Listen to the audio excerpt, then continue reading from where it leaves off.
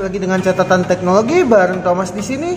Pada kesempatan kali ini kita mau nyobai update kostum refresh Android versi 80 ini ke versi 8.5 di mana kode namanya itu macam puno gitu kalau nggak salah di Redmi 5 Plus. Jadi di sini saya sudah masukkan OTG seperti biasa. Langsung saja kita reboot ke recovery. Hmm, di sini restart Oke, ini recovery. Sudah masuk recovery. Di sini kita langsung install kostum roomnya aja, nggak usah pakai wipe wipe kata yang buat ya. Kita ikuti aja arahannya. Nah, ini dia ya, Android dan ini OSP. Jadi versi vanilla.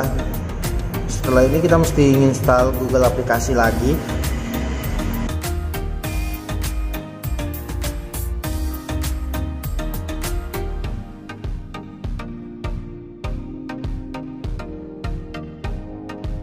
Oke sudah selesai kita balik. Dan kita install dulu nih Google aplikasi. Seperti biasa saya pakai Anchor. Kalau yang lain pun bisa. Oke sudah selesai. Sekarang kita web chat aja. Chat dan Dalpit kemudian kita reboot.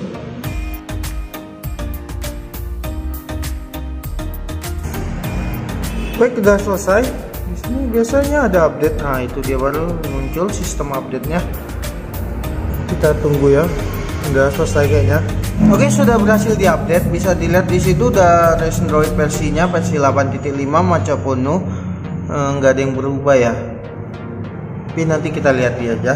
Ini adalah tampilan awalnya. Di sini saya sudah cuman ganti wallpapernya aja. Dan aplikasi yang tersedia juga masih sama. Nggak ada beda sama sekali atau nggak ada yang tambah. Sekarang kita lihat aplikasi kameranya. Ini apa masih Gapeneros kayaknya iya masih Gapeneros kamera versi 57 selanjutnya kita lihat fitur kameranya. Hmm, sama juga masih kan kamera dan video. Di atasnya pun sama. Nomor ya tidak ada yang tambah. Di videonya pun gitu masih UHD 2006 2160 UHD ya. Sticknya juga masih sama. Kita tes saja kameranya. Hasilnya kemudian videonya kita tes juga.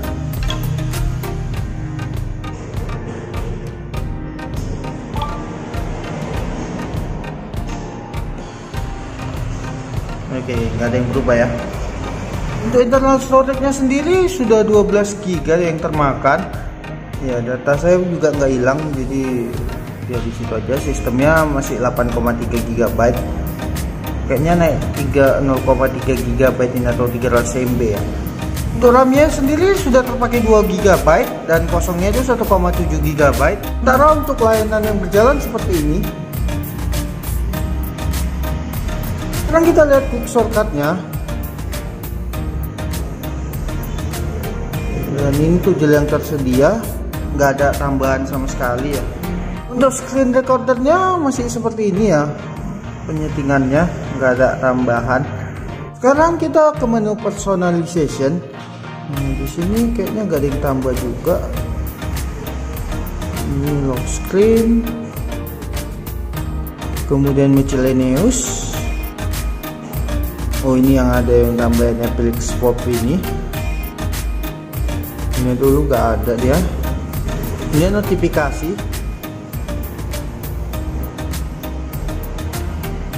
Selanjutnya quick setting. Baterai presentasi. Ini baterai style. Sama juga.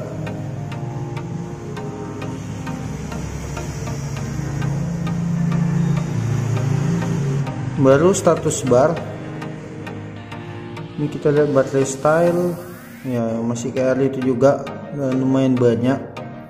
Kita kan di lain OS iOS maksud saya OS pula. Ini ada color icon. Tapi kenapa nggak berwarna ya? Color icon. Ya itulah baru ke sound and vibration user interface ada font style. Ya masih yang lama juga nggak ada yang ditambah. Berarti update nya cuma itu aja sesuai changelog di mode setting. Color. Kita ganti coba ini. Yang itu kenapa nggak kita ganti ya kita ambil warna-warna kayaknya warna-warna yang agak unik gitu. Merah tapi corenan hmm. nah gini pun jadi. Nah, jadi kecoklatan. Tadi merah agak keterang gitu. Oke. Okay. oh ya ini dia. Hmm. kenapa yang ganti itunya ya? Bukan ininya atau ada yang salah. Oh nggak bisa juga ya. Paling ini tambahan kalau nggak salah. Dia nggak ganti yang itunya makin ganti yang lain. Kalau kita kasih ke warna cerah gini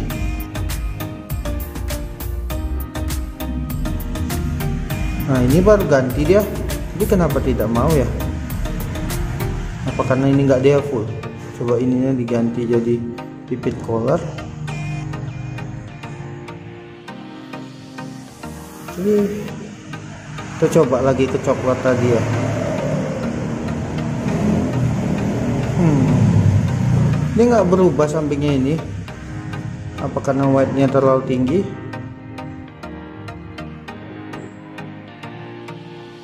Ya cukup aneh sih. Kalau warna terang-terang langsung nampak dia bedanya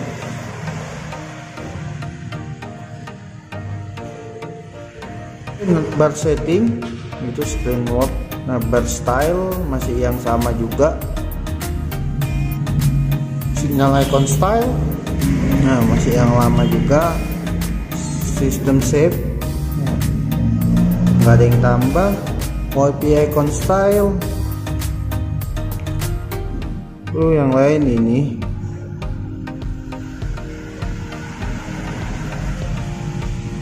Ya masih sama juga kita ganti dulu yang ini biar agak beda sedikit. Hmm, apanya ikut ganti ya? Oh saya kira monitor ini nggak hidup. Apanya kembali hidup lagi. Jadi sebelumnya nggak jadi gitu. Ini adalah hasil tutunya yang sebelum diupdate ya. Nanti kita coba yang diupdate dapatnya berapa? Ini adalah hasil tutunya yang pertama yaitu 125.581 nggak ada bedanya ya daripada yang sebelumnya. Oh ya untuk suhunya seperti biasa lah. Nggak bisa ya. Karena baterainya ada nggak original? Ini adalah hasil tutu yang kedua yaitu 126.788 ini adalah hasil trollingnya selama 30 menit maksimal itu 91 rata-rata 82 dan minimalnya itu 74 CPU nya sama sekali tidak di overclock tapi di sini agak aneh ya. Di atasnya itu pertama kali turun loh di bawah. Dia naik ke atas sini sampai 90-an di situ turun apa? Turun sampai datar. Ya di sini trolling lagi di menit 28an gitu. Sekarang kita akan menguji daya tahan baterainya. Di sini baterainya 39% dan kita akan mainkan Mobile Legend. Kita pakai stopwatch biar tahu satu plat berapa menit habisnya kita main klasik aja kayak biasa.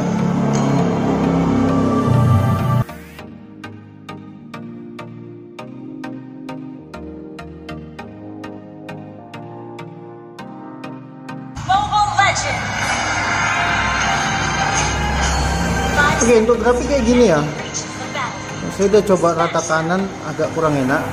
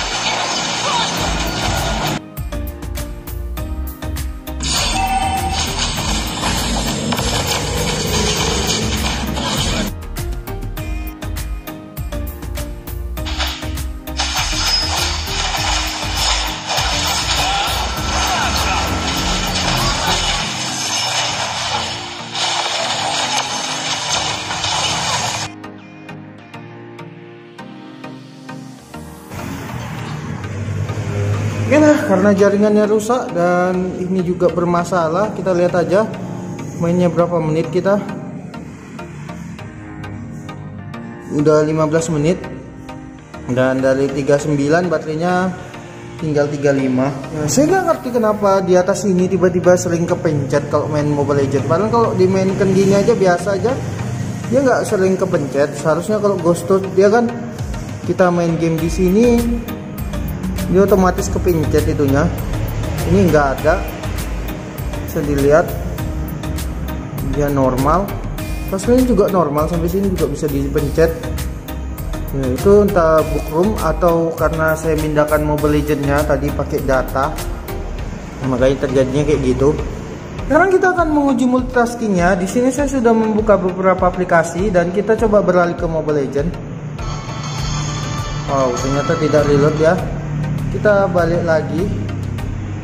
Kita buka playstore aman juga. Coba beralihkan tutu yang sebelahnya. Oh biasa tutu tetap reload. Oke selanjutnya kita coba time for free ya. Kita buka. Oke sama sekali nggak reload juga. Kita coba balik lagi ke mobile legend masih aman juga. Untuk launchernya sendiri masih pakai susi launcher pengaturan launchernya sendiri seperti ini ada icon. Di sini ada icon pack.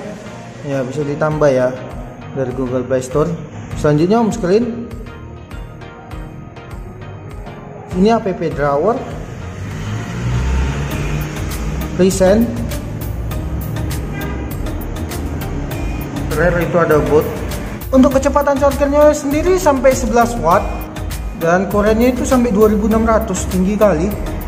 Oh, mungkin karena baterainya juga udah mau habis jadi dia tinggi kali. Untuk kernelnya sendiri masih sama yaitu pakai 4.9 Omnitrix kernel versi 47 yang stabil rilis dan dibuatnya itu tanggal 27 November. Agak naik kayaknya ya pembuatannya. Jadi inilah kostum room Android versi 8.5 Maca Puno di Redmi 5 Plus. Terima kasih telah menonton, sampai jumpa lagi.